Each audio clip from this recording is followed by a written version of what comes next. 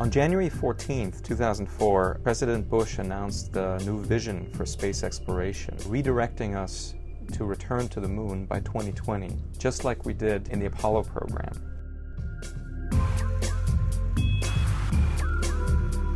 What we're considering now for the, the new moon program is to actually build lunar bases that have multiple missions in mind, multiple crews that will visit there. And so we can see lunar exploration uh, going on for 15, 20, 25 years in, into the future. What is important to understand, though, is that the moon is not the only objective in itself, that the moon will serve as a stepping stone toward Mars.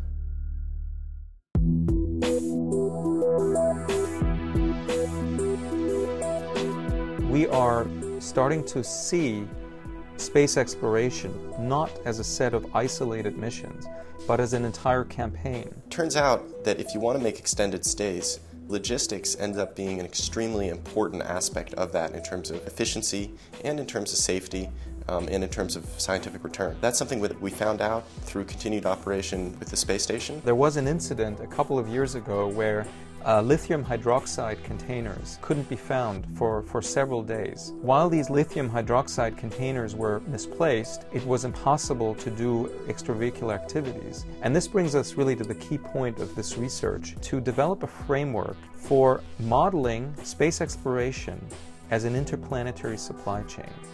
Now, the implementation of that framework is done in a software environment that we call SpaceNet. SpaceNet is a discrete event simulation and optimization tool that allows us to model the flow of vehicles, crew, and cargo from the Earth to uh, exploration destinations in space, either in orbit or on planetary surfaces. When you're looking at planning logistically for any uh, supply chain, there are sort of three main options you have.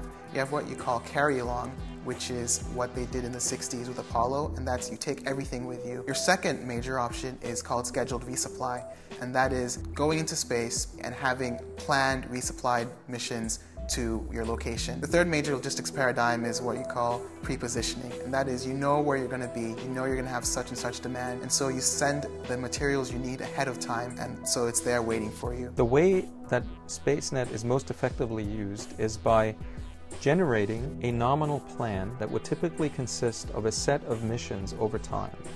For example, the build-up and sustainment of a lunar outpost. In such a campaign, you would have a mix of uncrewed cargo delivery flights as well as crewed flights. And you could model the sequence of these flights, the cargo that each of them would carry, and how this cargo would be consumed, used, and built up at different nodes in the system. The second uh, major framework that we use is something called measures of effectiveness or MOEs, and these are eight parameters that tell you how good how effective, how expensive, how risky your mission was.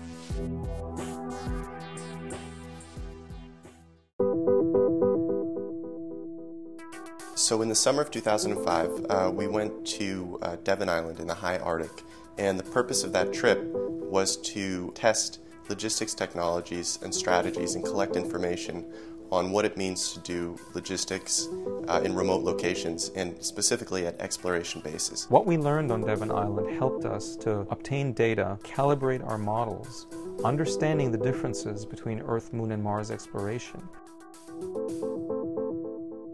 The second purpose has more to do with technology. We wanted to test RFID, technology radio frequency identification. An interesting paradigm for the, the challenge that the crew faces is they're living inside a laboratory.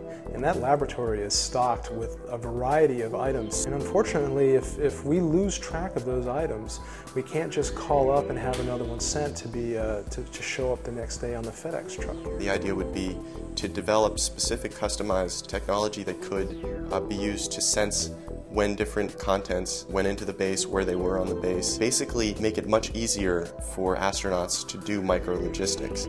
At the heart of Ramses is a container that has the ability to interrogate its own contents. All of the items that we place in the container have tags on them, and each tag has an individual unique ID code. Inside the walls of the container are antennas that read those tags. And will then transfer this information wirelessly to a computer and a database that automatically keeps track of all the transactions in the system. The crew could query the real time state of the system through the internet. Ramses is one way to assist the crew in being as productive as they possibly can and essentially removing the question of where is this item from the, from the equation. Any little thing you can do to make sure your mission has a higher chance of being more successful, anything you can do to, to capture all the unforeseen circumstances and plan the best you can for them is very valuable and worthwhile endeavor. One of the most exciting things that will occur in this century is the return of humans to the moon. It is a stepping stone toward humans truly being able to explore beyond low Earth orbit.